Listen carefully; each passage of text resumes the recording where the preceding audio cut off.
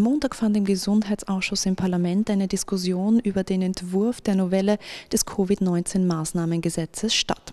Im Ausschuss fand dazu auch ein öffentliches Expertenhearing statt. Die FPÖ kritisierte bereits im Vorfeld, dass zahlreiche Bestimmungen viel zu unklar und wahrscheinlich auch nicht verfassungskonform seien.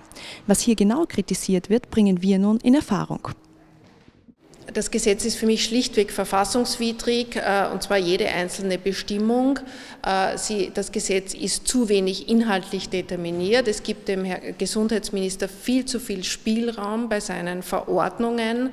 Er kann den Lockdown eigentlich ohne weitere Bedingungen nur bei Auftreten von Covid-19, was immer das heißt, verhängen. Er kann äh, uns schikanieren im öffentlichen Raum. Er kann Betretungsverbote aussprechen. Er kann Abstandsregelungen, wie es ihm äh, einfällt, die Maskenpflicht, die wir mit heute auch schon wieder umfangreicher haben. Und er muss sich hier eigentlich kaum an inhaltliche Vorgaben des Gesetzes halten. Und ich bin schon sehr gespannt, wie das Gesetz dann tatsächlich ausschauen wird, was am 23. im Nationalrat landet.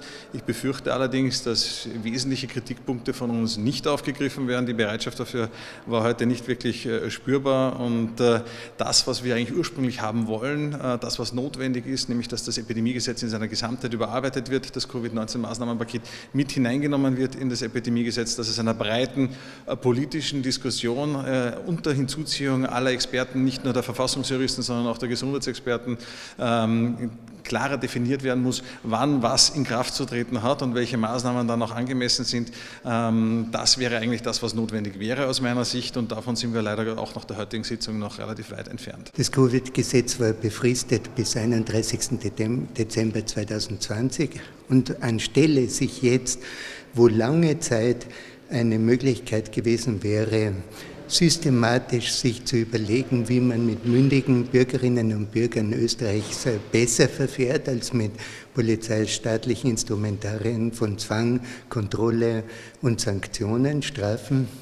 Das ist leider äh, nicht genutzt worden. Und was Im Ausschuss jetzt bemerkenswert war, dass sich Herr Gesundheitsminister Anschober nicht einmal die Mühe macht, sich zu Wort zu melden und äh, sein Gesetz in irgendeiner Form vorzustellen oder zu verteidigen. Und das bei einem Gesetz, das solche massiven Grundrechtseingriffe der Bürger mit sich bringt, das ist eigentlich wirklich eine Schande, wenn sich da der Minister nicht einmal im Ausschuss zu Wort meldet.